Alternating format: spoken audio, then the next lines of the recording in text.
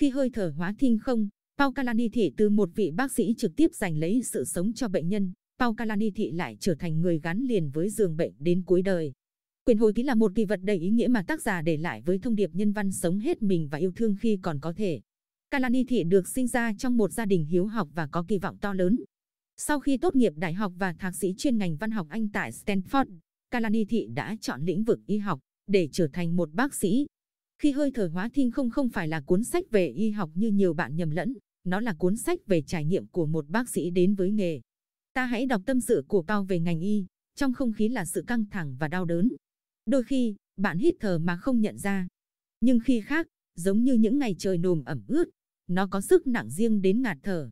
Đôi khi trong bệnh viện, tôi cảm thấy như mắc kẹt trong một mùa hè trốn rừng hoang vô tận, người sũng mồ hôi, những cơn mưa nước mắt của các gia đình có người thân bỏ mạng đang ảo ảo rơi xuống. Nếu như ở phần 1, Kalani thị đối mặt với thần chết trong vai trò đối thủ, dùng trí tuệ và sự khéo léo của mình để giành giật mạng sống của bệnh nhân. Dùng trái tim và sự thấu cảm để xoa dịu nâng đỡ người bệnh cùng gia đình họ, thì ở phần 2, anh đối mặt nó trong vị trí người bệnh, mang trong mình căn bệnh ung thư phổi hiếm có ở độ tuổi 36. Ngay từ những trang đầu cuốn sách anh đã thốt lên một sự thực phũ phàng. Tại sao tôi vốn uy quyền trong bộ y phục bác sĩ phòng mổ nhưng lại vô cùng rụt rè khi mặc áo bệnh nhân? Kalani Thị đã lựa chọn thành thật với người đọc.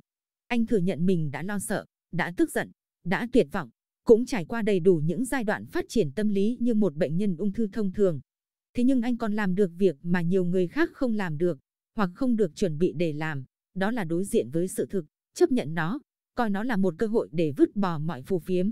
Đi sâu vào nội tâm mình và sống trọn vẹn khi còn có thể. Khi hơi thở hóa thinh không là một cuốn sách rất đáng đọc.